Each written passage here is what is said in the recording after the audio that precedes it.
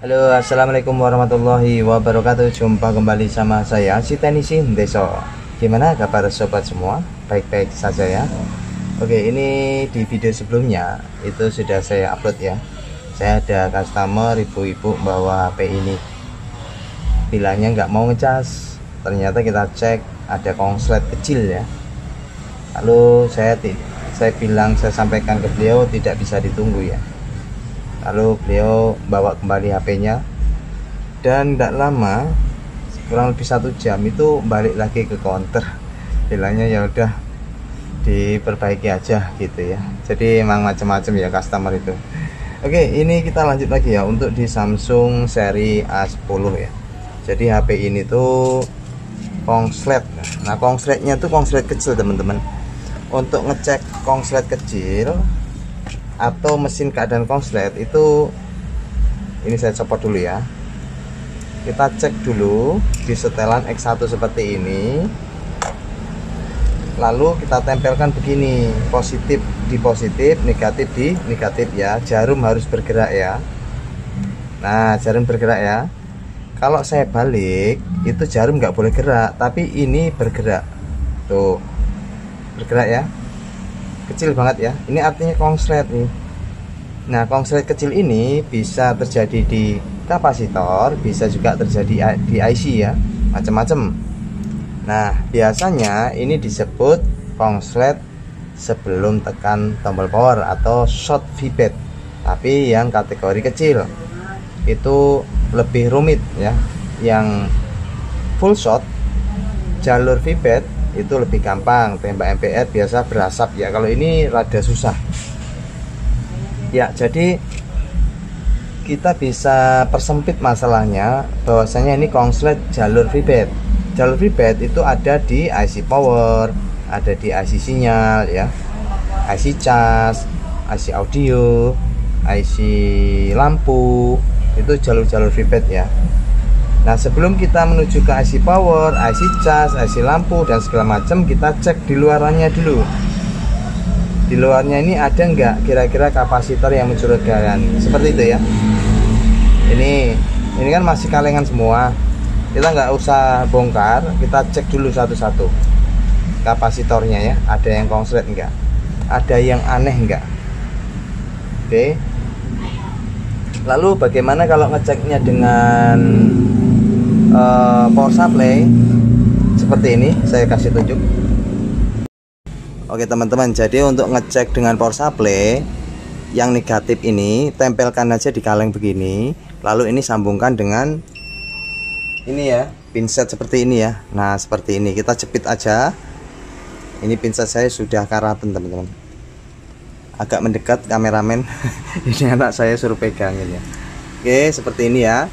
Lalu kita tempelkan nih. Ini kalau jarum langsung bergerak itu artinya konslet ya. Ini saya tempelkan ya tempelkan di positifnya ya. Lihat jarum bergerak enggak tuh bergerak ya. Kalau saya lepas dia turun.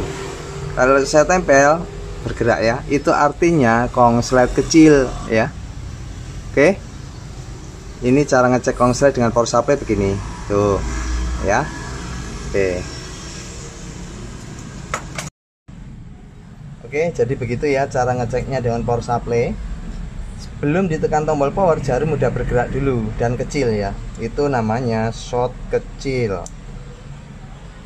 Lalu di mana kira-kira? Biang keroknya atau tersangkanya? Ya nggak tahu. Kita mesti cek skema atau segalanya. Namun sebelum cek skema ya coba dulu teman-teman cek komponen yang bagian di luar ya. Di luar itu di luaran kaleng kayak kapasitor-kapasitor ini semua dicekin ya satu-satu dicek ya. Nah ini saya akan coba cek dulu satu-satu kira-kira ada yang aneh enggak oke teman-teman setelah saya cek satu-satu saya mencurigai ini ada kapasitor yang nilainya itu nilai hambatan dalam tuh tidak sempurna atau e, tidak komplit ya. Jadi begini nilai resistansi kapasitor itu harusnya begini. Untuk ngeceknya ini ya di setelan ini dioda mode lalu yang merah tempelkan di kaleng yang hitam buat ukur. Contohnya kapasitor ini. Harusnya 00 ini artinya negatif. Yang sebelahnya harus punya nilai. Nah punya nilai kan 400 ya. Lalu di sininya lagi. Tuh punya nilai yang sini 0 nah yang aneh ini coba perhatiin. Ini 0 lalu yang ini 0 artinya ini mendekati konslet kapasitor ini. Tapi bukan konslet penuh. Nah kapasitor ini setelah saya cek di skema ternyata terhubung ke IC kecil ini. Ini IC audio ternyata. Sekarang yang mesti kita cek Kita coba angkat IC audio ini. Kalau dia shotnya hilang berarti IC audio ini yang bermasalah ya. Karena yang berdekatan dengan kapasitor ini ini. Nah kita perhatiin ya sebelum kita copot IC nya nilainya segini. 05 00 ya. Harusnya itu di sini 00 di sini 400 tapi ini nggak nyampe 400 ini 055 ya. Harusnya tuh begini loh 00 lalu sebelahnya 400 ya. Tapi ini 00 yang ini 00 termasuk nol tapi mendekati ya. Ini konslet kecil ya. Bisa kapasitornya yang bermasalah bisa juga IC nya lalu kira-kira yang mana? Kita akan coba dulu tentuin ini kapasitor ini yang konslet kecil atau IC nya lebih amannya kita coba angkat ini dulu. Lilitan ya kita angkat. Kalau di sini dia normal di sini uh, shotnya udah hilang berarti ini bermasalah ya. Kita coba dulu.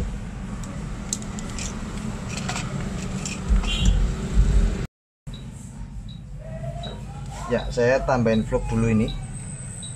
Saya akan copot dulu lilitan ya lalu kita ukur lagi. Apakah ada perubahan ya coba saya angkat ini. Ini ada lilitan ya.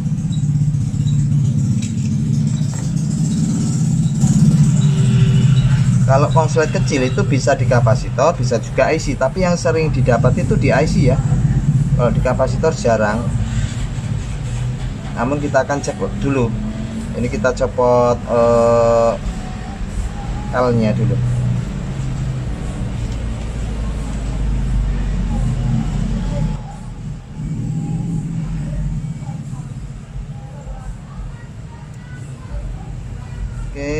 L nya udah saya copot. Ya ini L nya lalu kita akan ukur lagi. Coba kita akan ukur kembali.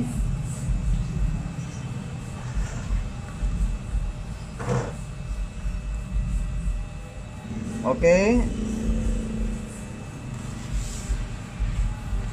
Di sini nol ya lalu di sini masih nol ya.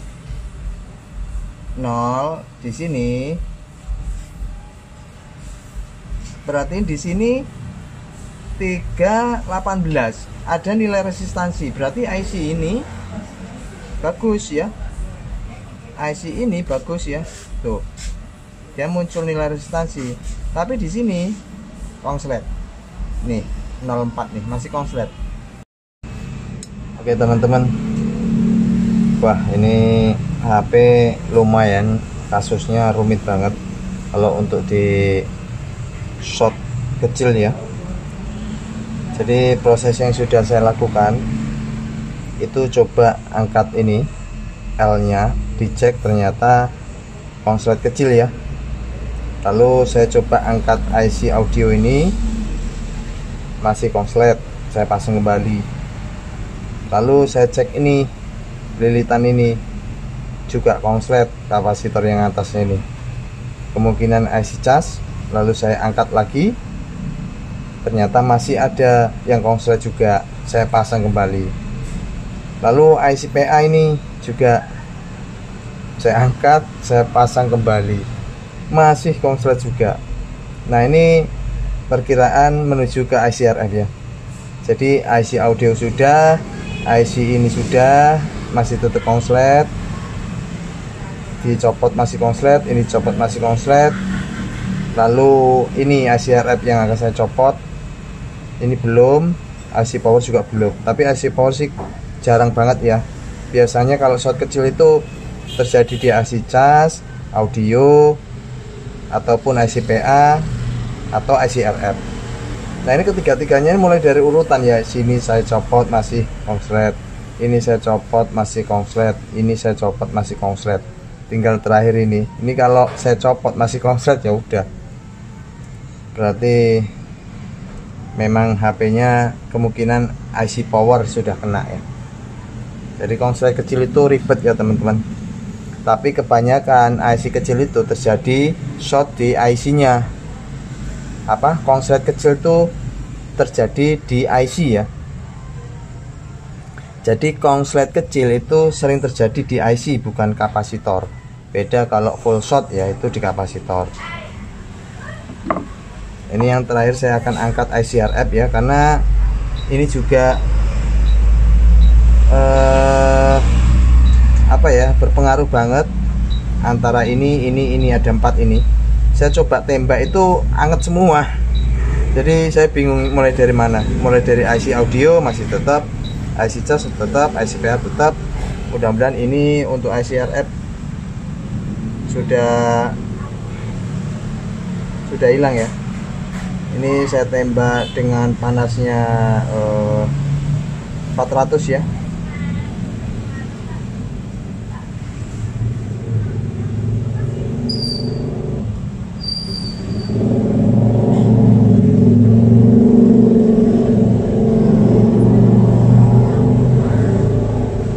Oke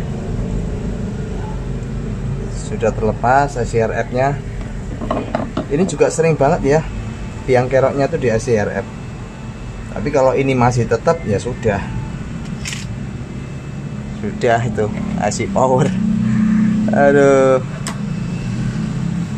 Oke cek lagi konslet enggak? Ngeceknya begini ya positif di negatif. Oke lalu kita balik mantap jiwa mempesona ya sudah hilang ya? Alhamdulillah udah hilang. Ini nggak gerak ya. Mantap. Berarti ini ini biang keroknya nih. ICRF ini memang. Jadi ini dicabut ini cabut masih tetap. ICPA cabut. Ternyata ini mbok ya ini dulu ya. Coba tadi saya milih ini dulu ya. Jadi nggak perlu nyabut-nyabut ini ya ini. Ini ICRF nih ini kemungkinan bisa nyala ya kemungkinan ya. Kalau sudah IC yang konslet ini sudah kita cabut dan konslet kecilnya hilang itu biasanya nyala. Tapi ini masih panas ya. Kita damu aja ya. Kita sebel-sebel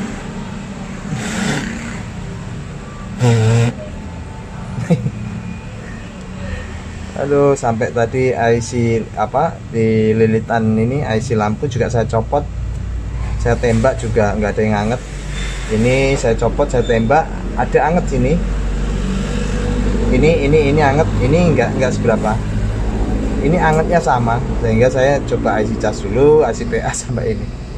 Nah, ini yang terakhir, alhamdulillah sudah hilang. Oke, kita akan coba ya. Harusnya sih sudah mau nyala ya. Kalau konsletnya tuh hilang tuh udah mau nyala dia. Oke kita coba langsung cas ya.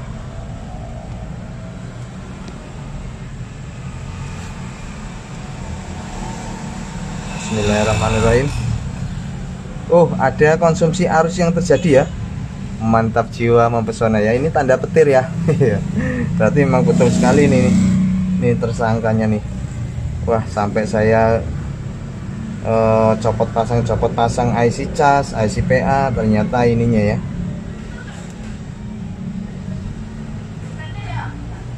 Tapi kok tidak muncul tanda presentasi ya? Padahal ini sudah saya pasang dengan pas ini IC casnya ini harusnya ini ya. Mul, apa muncul presentasi ya? Oh udah udah muncul. Sip sip. 11% ya. Oke. Coba kita tunggu apa mau nambah? Soalnya ini tadi saya copot nih IC casnya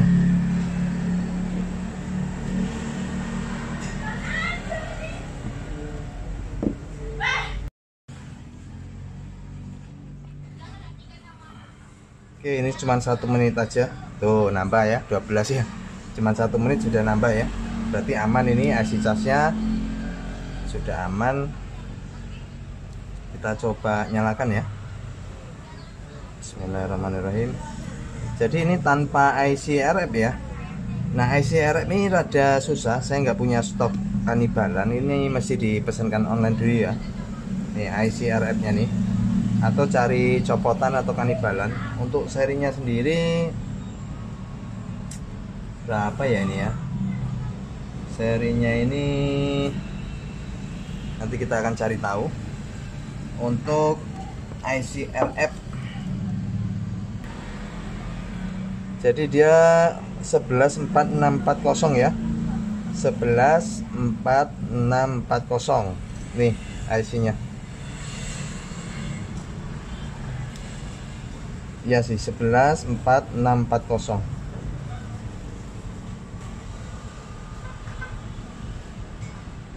dan ini terkunci pin saya nggak tahu nih pinnya apa. 1 2 3 4 Oh nggak mau ya.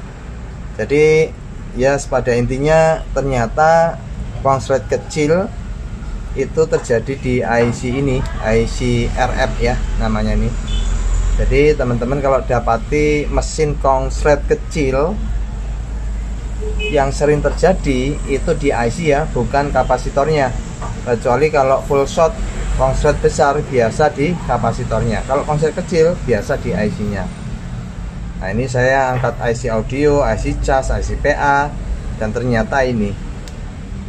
Emang HP bisa nyala tanpa dipasang IC ini tapi nggak ada sinyal. Kita mesti ganti dulu IC RF nya ya. Ya yang mudah-mudahan bisa diambil hikmahnya. Bahwasanya oh ternyata ini toh yang menjadi biang keroknya atau tersangkanya gitu. Jadi kita mesti ganti ICRF nya ya. Untuk pengecasan sudah normal. Oke itu saja ya, semoga bisa dijadikan manfaat. Terima kasih, tetap semangat, bye bye. Assalamualaikum warahmatullahi wabarakatuh.